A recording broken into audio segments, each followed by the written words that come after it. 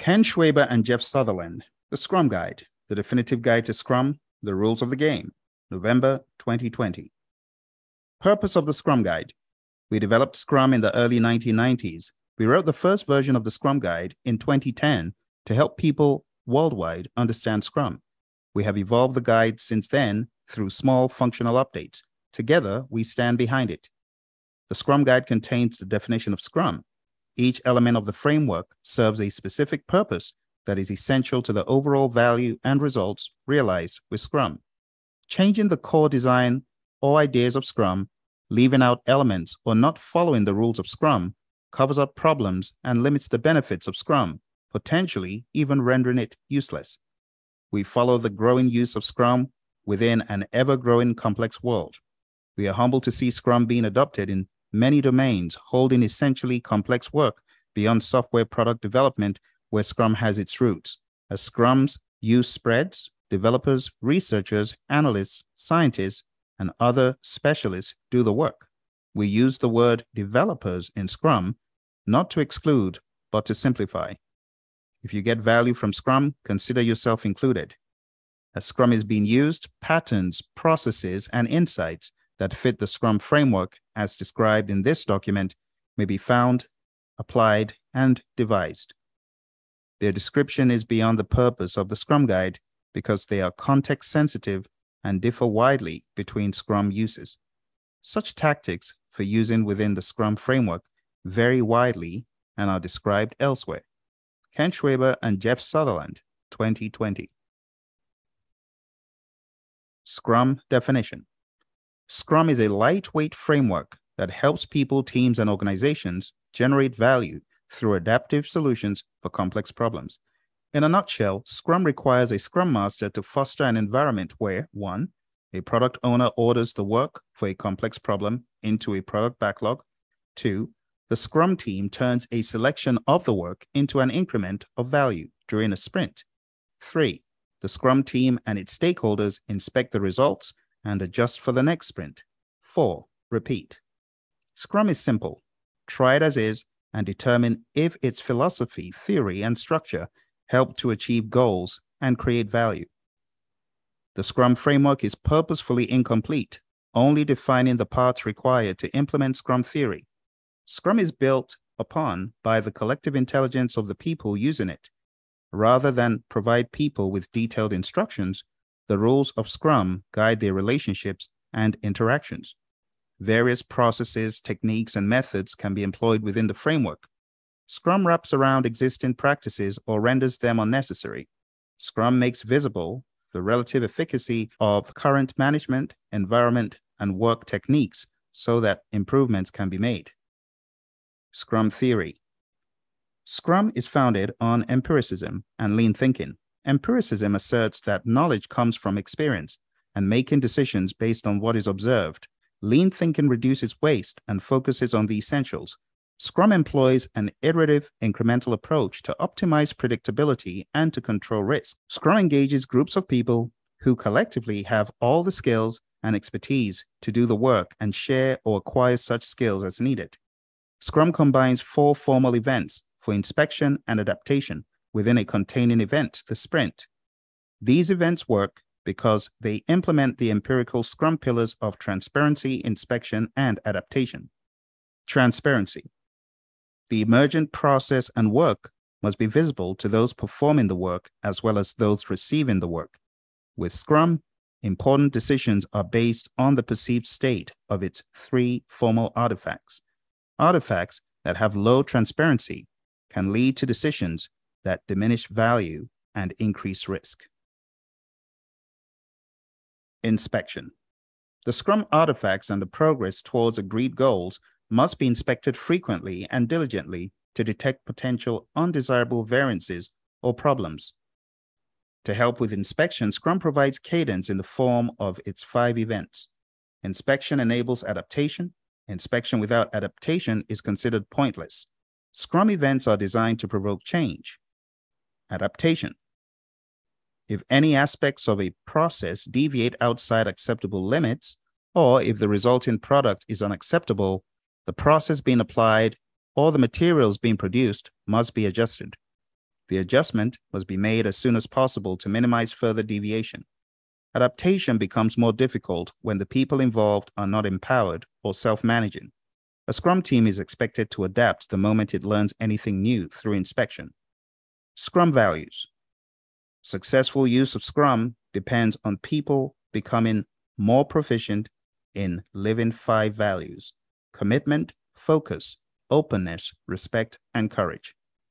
The Scrum team commits to achieving its goals and to supporting each other. The primary focus is on the work of the sprint to make the best possible progress towards these goals. The Scrum team and its stakeholders are open about the work and the challenges. Scrum team members respect each other to be capable, independent people and are respected as such by the people with whom they work. The Scrum team members have the courage to do the right thing, to work on tough problems. These values give direction to the Scrum team with regard to their work, actions, and behavior. The decisions that are made, the steps taken, and the way Scrum is used should reinforce these values, not diminish or undermine them. The Scrum team members learn and explore the values as they work with the Scrum events and artifacts. When these values are embodied by the Scrum team and the people they work with, the empirical Scrum pillars of transparency, inspection, and adaptation come to life, building trust. Scrum team. The fundamental unit of Scrum is a small team of people, a Scrum team. The Scrum team consists of one Scrum Master, one product owner, and developers. Within a Scrum team, there are no sub teams or hierarchies. It is a cohesive unit of professionals focused on one objective at a time, the product goal. Scrum teams are cross functional, meaning the members have all the skills necessary to create value each sprint. They are also self managing, meaning they internally decide who does what, when, and how.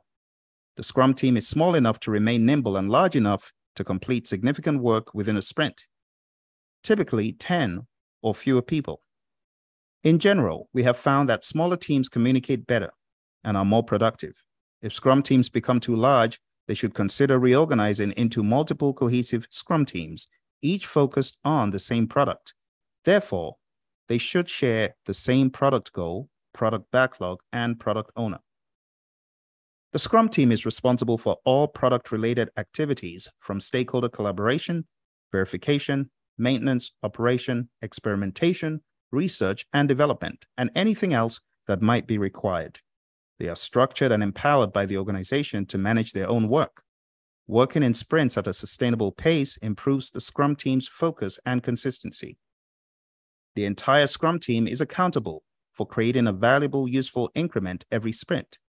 Scrum defines three specific accountabilities within the Scrum team the developers, the product owner, and the Scrum Master. Developers.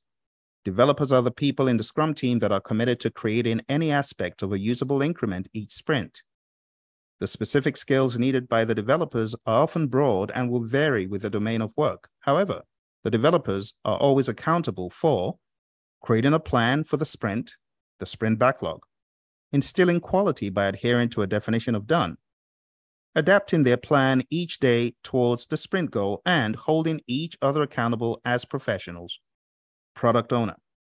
The product owner is accountable for maximizing the value of the product resulting from the work of the Scrum team. How this is done may vary widely across organizations, Scrum teams, and individuals. The product owner is accountable for effective product backlog management, which includes developing and explicitly communicating the product goal, creating and clearly communicating product backlog items, ordering product backlog items, and ensuring that the product backlog is transparent, visible, and understood. The product owner may do the above work or may delegate the responsibility to others. Regardless, the product owner remains accountable. For product owners to succeed, the entire organization must respect their decisions. These decisions are visible in the content and ordering of the product backlog and through the inspectable increment at the sprint review. The product owner is one person, not a committee. The product owner may represent the needs of many stakeholders in the product backlog. Those wanting to change the product backlog can do so by trying to convince the product owner. Scrum Master. The Scrum Master is accountable for establishing Scrum as defined in the Scrum Guide. They do this by helping everyone understand Scrum theory and practice, both within the Scrum team and the organization. The Scrum Master is accountable for the Scrum team's effectiveness. They do this by enabling the Scrum team to improve its practices within the Scrum framework. Scrum Masters are true leaders who serve the Scrum team and the larger organization. The Scrum Master serves the Scrum team in several ways, including coaching the team members in self management and cross functionality, helping the Scrum team focus on creating high value increments that meet the definition of done, causing the removal of impediments to the Scrum team's progress, and ensuring that all Scrum events take place and are positive, productive, and kept within the time box. The Scrum Master serves the product owner in several ways, including helping find techniques for effective product goal definition and product backlog management, helping the Scrum team understand the need for clear and concise product backlog items, helping establish empirical product planning for a complex environment, and facilitating stakeholder collaboration as requested or needed. The Scrum Master serves the organization in several ways, including leading, training, and coaching the organization in its Scrum adoption, planning and advising Scrum implementations within the organization, helping employees and stakeholders understand and enact an empirical approach for complex work, and removing barriers between stakeholders and Scrum teams. Scrum events. The sprint is a container for all other events. Each event in Scrum is a formal opportunity to inspect and adapt Scrum artifacts. These events are specifically designed to enable the transparency required Failure to operate any event as prescribed results in lost opportunities to inspect and adapt. Events are used in Scrum to create regularity and to minimize the need for meetings not defined in Scrum. Optimally, all events are held at the same time and place to reduce complexity. The sprint. Sprints are the heartbeat of Scrum, where ideas are turned into value. They are fixed length, events of one month or less, to create consistency. A new sprint starts immediately after the conclusion of the previous sprint. All the work necessary to achieve the product goal, including sprint planning, daily scrums, sprint review, and sprint retrospective, happen within sprints. During the sprint, no changes are made that would endanger the sprint goal. Quality does not decrease. The product backlog is refined as needed, and scope may be clarified and renegotiated with the product owner as more is learned. Sprints enable predictability by ensuring inspection and adaptation of progress towards a product goal at least every calendar month. When a sprint's horizon is too long, the sprint goal may become invalid, complexity may rise, and risk may increase. Shorter sprints can be employed to generate more learning cycles and limit risk of cost and effort to a smaller time frame. Each sprint may be considered a short project Various practices exist to forecast progress like burn downs, burn ups, or cumulative flows. While proving useful, these do not replace the importance of empiricism. In complex environments, what will happen is unknown. Only what has already happened may be used for forward looking decision making. A sprint could be canceled if the sprint goal becomes obsolete. Only the product owner has the authority to cancel the sprint. Sprint planning Sprint planning initiates the sprint by laying out the work to be performed for the sprint. This resulting plan is created by the collaborative work of the entire Scrum team.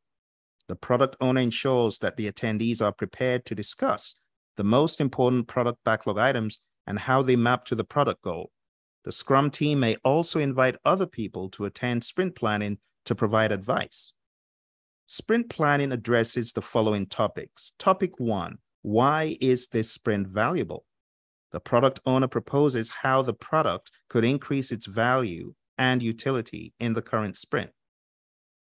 The whole Scrum team then collaborates to define a sprint goal that communicates why the sprint is valuable to stakeholders. The sprint goal must be finalized prior to the end of sprint planning. Topic two What can be done during this sprint? Through discussion with the product owner, the developers select items from the product backlog to include in the current sprint. The Scrum team may refine these items during this process, which increases understanding and confidence. Selecting how much can be completed within a sprint may be challenging. However, the more the developers know about their past performance, their upcoming capacity, and their definition of done, the more confident they will be in their sprint forecasts. Topic three How will the chosen work get done? For each selected product backlog item, the developers plan the work necessary to create an increment that meets the definition of done. This is often done by decomposing product backlog items into smaller work items of one day or less. How this is done is at the sole discretion of the developers. No one else tells them how to turn product backlog items into increments of value. The sprint goal, the product backlog items selected for the sprint, plus the plan for delivering them are together referred to as the sprint backlog. Sprint planning is time boxed to a maximum of eight hours for a one month sprint. For shorter sprints, the event is usually shorter. Daily Scrum. The purpose of the daily Scrum is to inspect progress towards the sprint goal and adapt the sprint backlog as necessary, adjusting the upcoming planned work.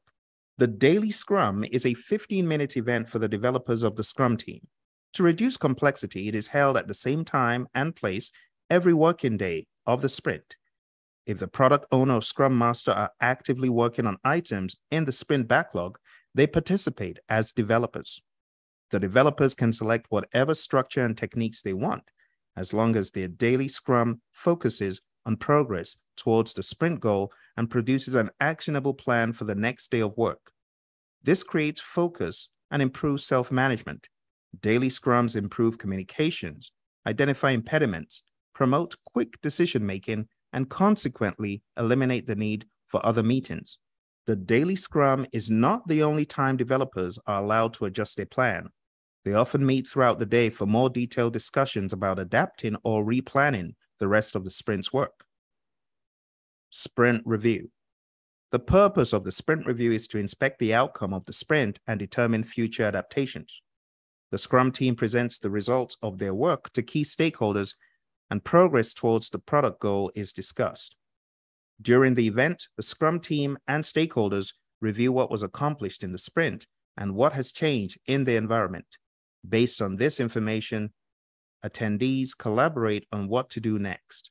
The product backlog may also be adjusted to meet new opportunities. The sprint review is a working session, and the Scrum team should avoid limiting it to a presentation. The sprint review is the second to last event of the sprint and is time boxed to a maximum of four hours for a one month sprint. For shorter sprints, the event is usually shorter. Sprint retrospective.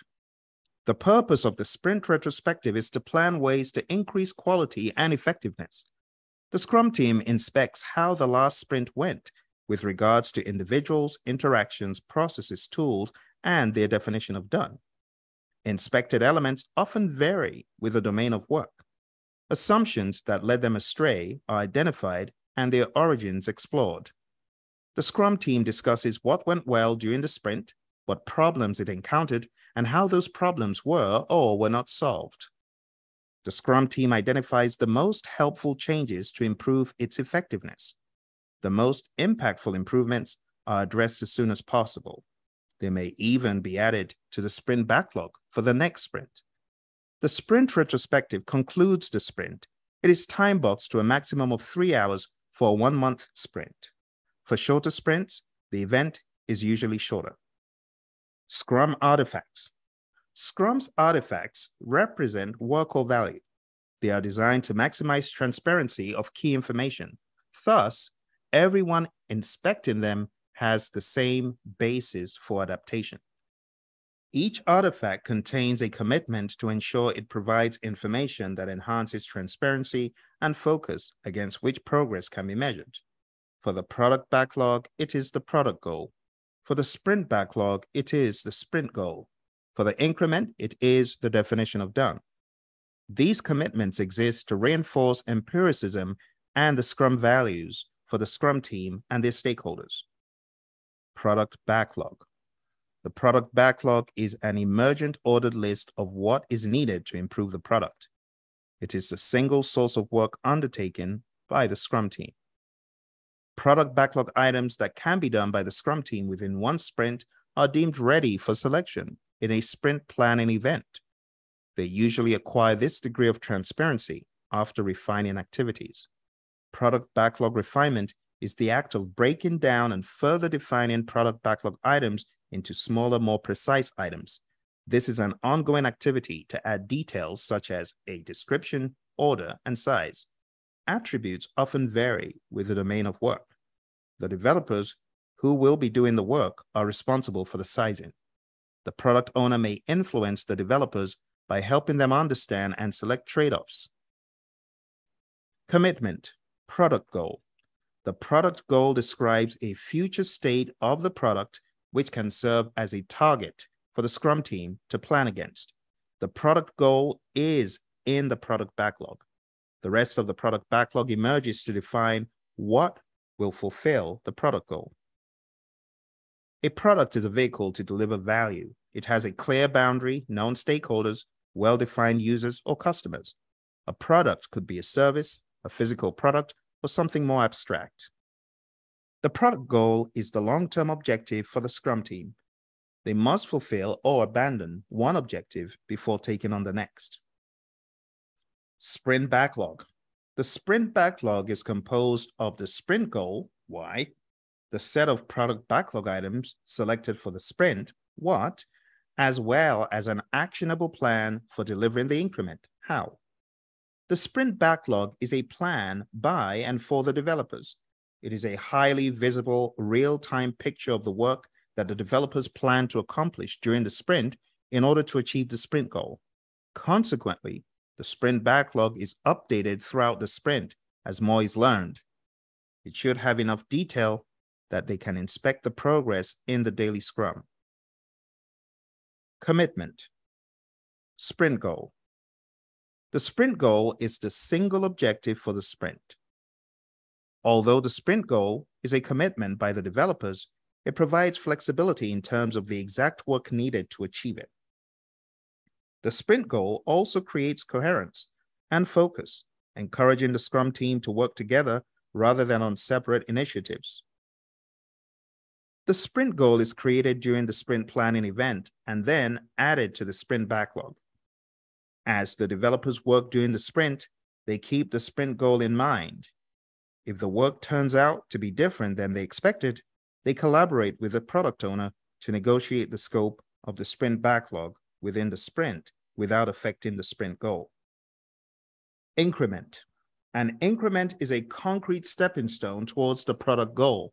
Each increment is additive to all prior increments and thoroughly verified, ensuring that all increments work together. In order to provide value, the increment must be usable. Multiple increments may be created within a sprint. The sum of the increments is presented at the sprint review thus supporting empiricism. However, an increment may be delivered to stakeholders prior to the end of the sprint. The sprint review should never be considered a gate to releasing value. Work cannot be considered part of an increment unless it meets the definition of done. Commitment. Definition of done. The definition of done is a formal description of the state of the increment when it meets the quality measures required for the product. The moment a product backlog item meets the definition of done, an increment is born. The definition of done creates transparency by providing everyone a shared understanding of what work was completed as part of the increment. If a product backlog item does not meet the definition of done, it cannot be released or even presented at the sprint review. Instead, it returns to the product backlog for future consideration. If the definition of done for an increment is part of the standards of the organization, all Scrum teams must follow it as a minimum. If it is not an organizational standard, the Scrum team must create a definition of done appropriate for the product. The developers are required to conform to the definition of done. If there are multiple Scrum teams working together on a product, they must mutually define and comply with the same definition of done. End note. Scrum is free and offered in this guide. The Scrum framework as outlined herein is immutable. While implementing only parts of Scrum is possible, the result is not Scrum. Scrum exists only in its entirety and functions well as a container for other techniques, methodologies, and practices. Acknowledgement. People. Of the thousands of people who have contributed to Scrum, we should single out those who were instrumental at the start. Jeff Sutherland worked with Jeff McKenna and John Scumniotales, and Ken Schwaber worked with Mike Smith and Chris Martin, and all of them worked together. Many others contributed in the ensuing years, and without their help, Scrum would not be refined as it is today. Scrum Guide History Ken Schwaber and Jeff Sutherland first co presented Scrum at the OOPSLA conference in 1995. It essentially documented the learning that Ken and Jeff gained over the previous few years and made public the first formal definition of Scrum. The Scrum Guide documents Scrum as developed, evolved, and sustained for 30 plus years by Jeff Sutherland and Ken Schwaber. Other sources provide patterns, processes, and insights that complement the Scrum framework. These may increase productivity, value, creativity, and satisfaction with the results. The complete history of Scrum is described elsewhere. To honor the first places where it was tried and proven, we recognize Individual Inc., Newspage, Fidelity Investments, and IDX, now GE Medical. Copyright 2020, Ken Schwaber and Jeff Sutherland. It's been your friend Phil reading the Scrum Guide. I hope you enjoyed it.